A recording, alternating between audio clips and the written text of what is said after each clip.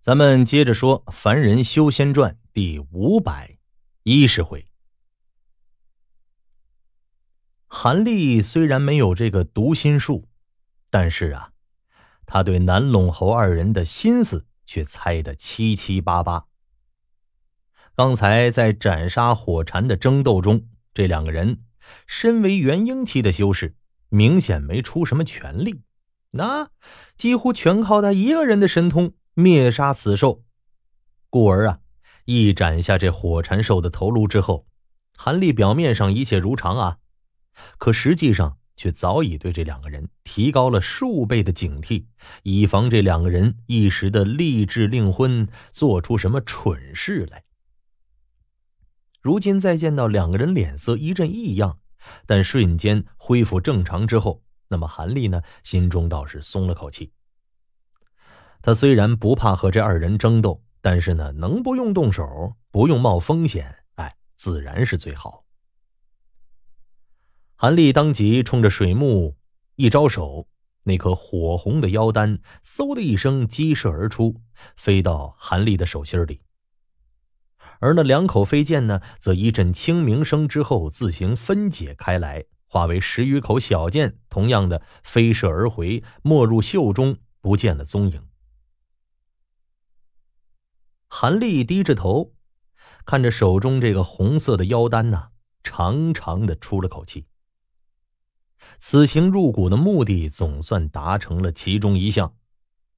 这个时候，南陇侯忽然笑着开口了：“哈哈哈哈！这一次能灭杀此蝉，多亏了韩道友啊。不过，我等先去巢穴看看吧。”想必韩兄对遗骸上的宝物也大感兴趣啊！韩立把腰丹一收，不动声色，点点头：“嗯，这个自然。”鲁姓老者听到二人之言，自然脸上大喜，随即呀，三个人把附近的法阵一收，直往飓风下的山洞去了。说起来，韩立倒不是没打这个，把银月悄悄先放出来。进洞寻宝的主意，但是这两个人也都是老奸巨猾之辈，始终对韩立注意非常。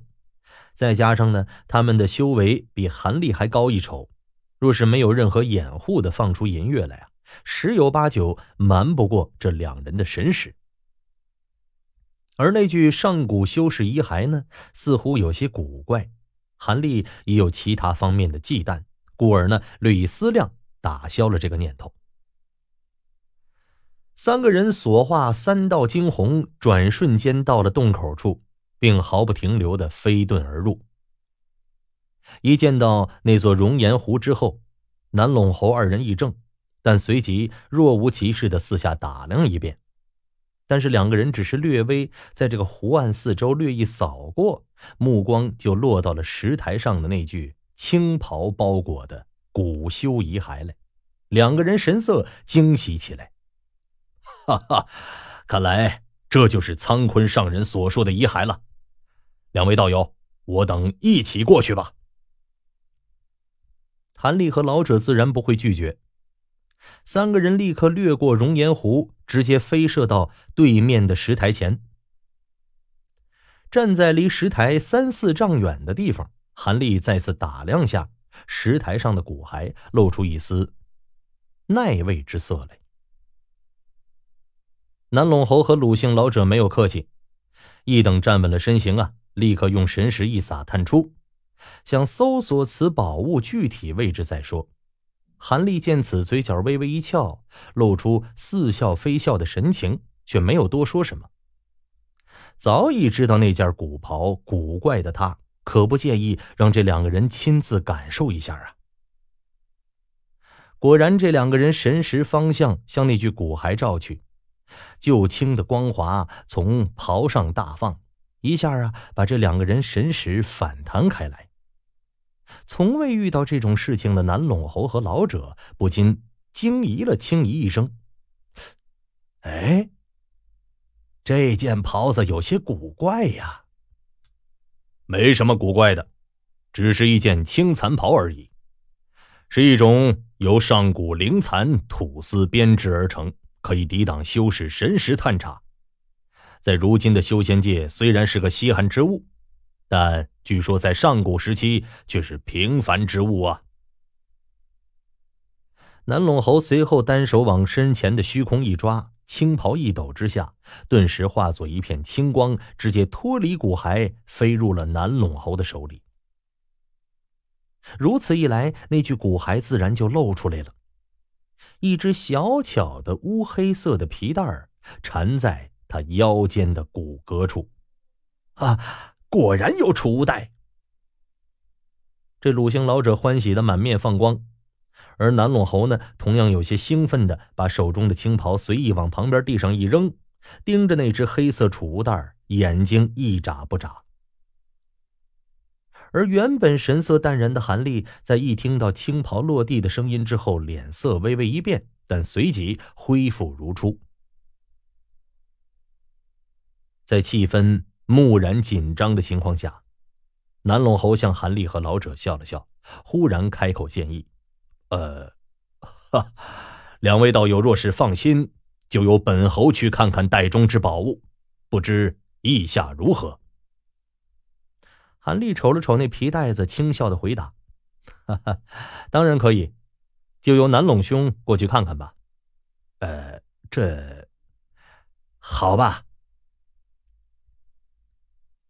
南陇侯几步上前，把那只储物袋小心的拿起来。并用神识往里边大概一扫，脸上毫无表情。鲁卫英见此情景，忍不住说道：“呃，南陇兄，这里边到底是何物啊？”嗯。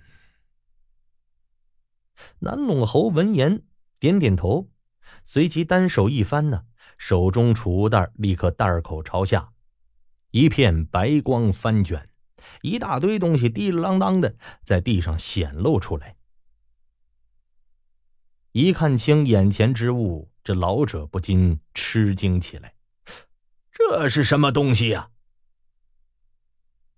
只见眼前大部分东西都是一块块泛着红光的赤红铁块，个个炙热烧人，那看似不太寻常。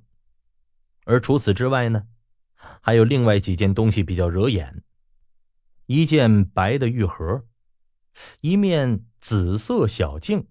还有一口黄色小剑，一套墨绿色的飞针，两个乌黑色的药瓶。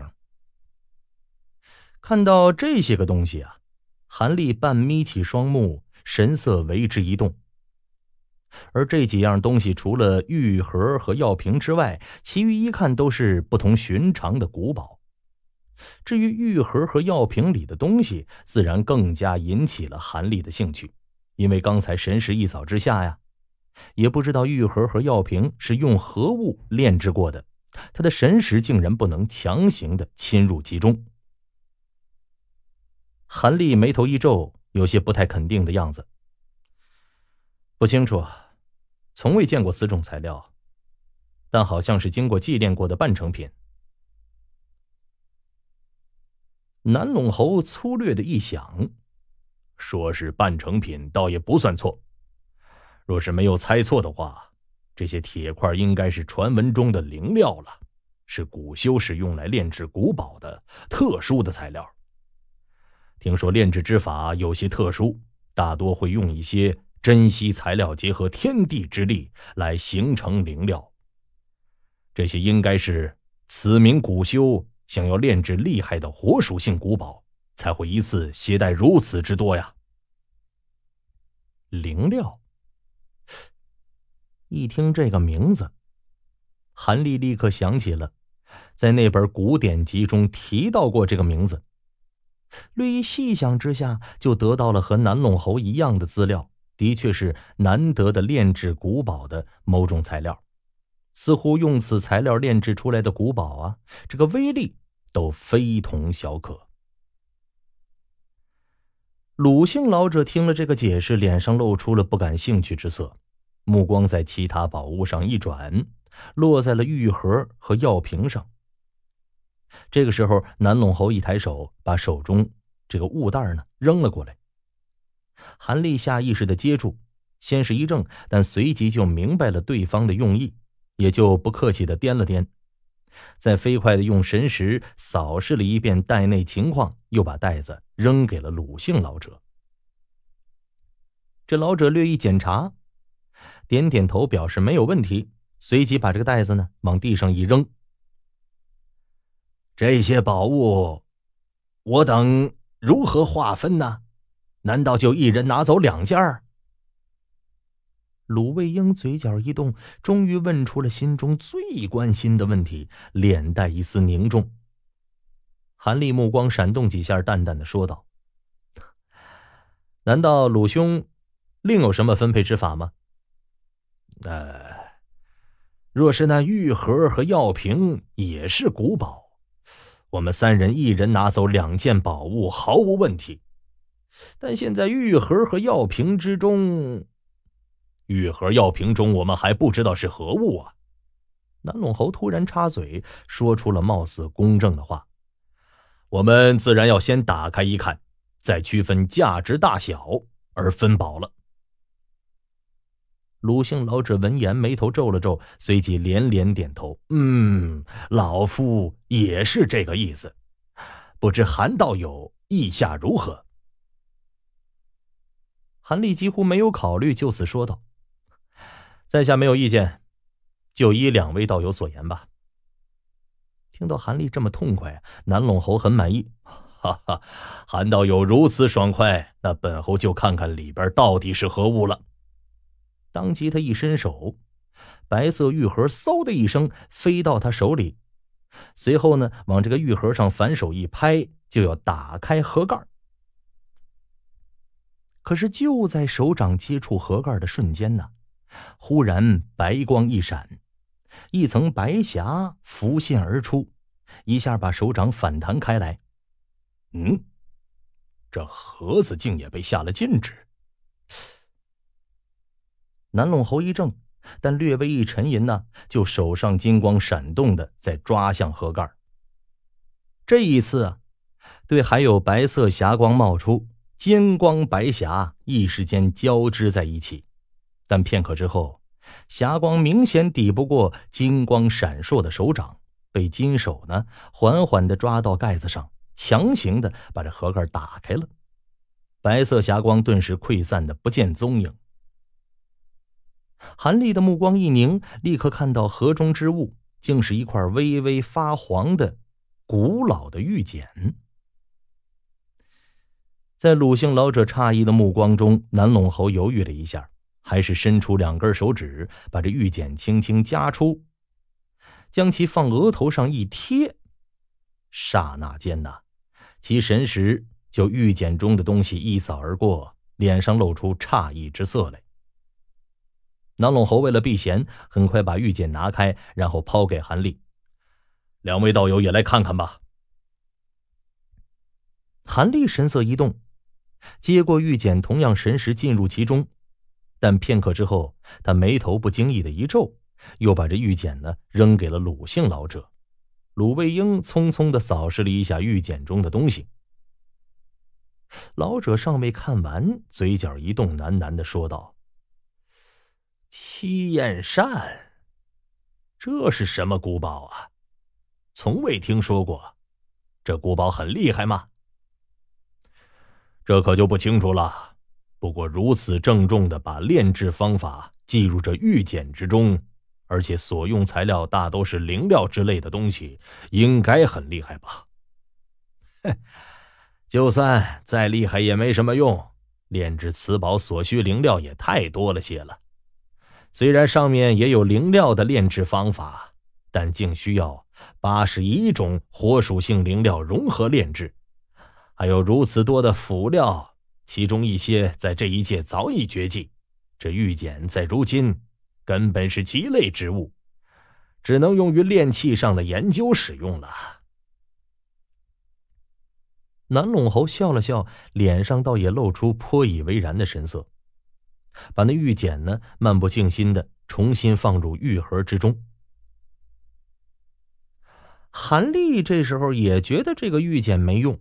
但是脑海中突然想起了银月惊喜之极的话语：“七焰山，主人，这玉简中真记载了此宝的炼制之法吗？韩立闻言心中一动，随即传音：“不错，正是叫这个名字。怎么，你知道此古堡？主人，若我没有记错的话，这七焰扇是通天灵宝之一。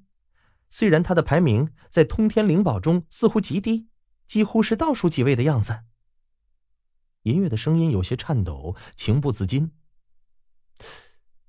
通天灵宝，一听这话，韩立吓了一跳，不禁怔住了。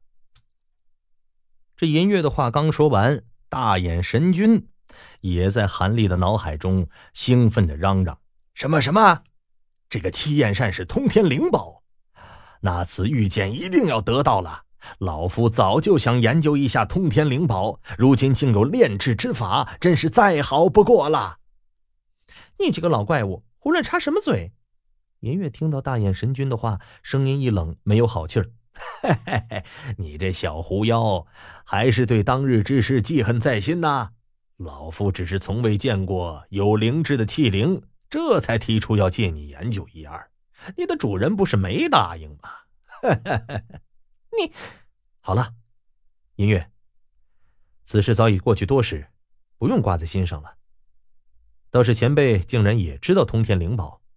这都让晚辈有些意外了。不过现在不是详谈之时，什么事情等以后再说吧。韩立冷冷的说完，然后目光放回地面上的玉盒上一转，就看到啊，南陇侯已经把两个黑色药瓶拿在手里了，正打开瓶盖。银月立刻识趣的偃旗息鼓，而大眼神君呢，虽然觉得有些不快。但毕竟现在受制于韩立啊，也只能嘟囔两句，同样不吱声了。黑色药瓶刚一打开，一股清香从这瓶中散发出来了。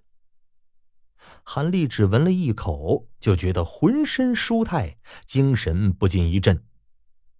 南陇侯从瓶中倒出一枚翠绿欲滴的药丸，轻托在手里，迟疑的自语。这好像不是最常见的几种上古灵丹呐，不知道是什么灵药，但肯定不是有害的毒药，必须回去找典籍仔细的查查看了。鲁姓老者眼中一动，盯着药丸，缓缓的说道：“呃，药瓶中有几颗？就只有一颗，看来是珍稀类的古灵丹呐。”鲁卫英的声音急促起来：“啊，再看看另一个药瓶啊！”嗯，南陇侯闻言点点头，把这个丹药呢重新装回瓶子，又把另一个药瓶打开了，倒出了一模一样的另一枚绿色的丹药。